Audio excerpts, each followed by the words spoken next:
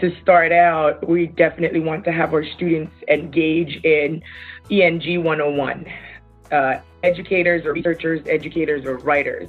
And it's so important that they're able to articulate themselves uh, and express themselves in a written format because a number of their assessments throughout the program will require that writing piece.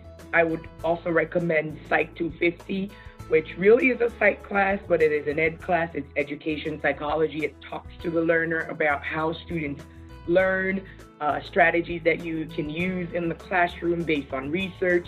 It looks at the educational theorists. It gives you a solid refresher of some theories that you may have studied, may have looked at in high school, some that you may not have seen.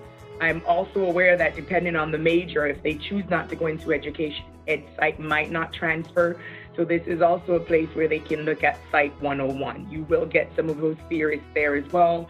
You will get um, some of the experiences with writing, but definitely before you get into that major, if you have an opportunity, look at Ed Psych, ENG 101, or Psych 250.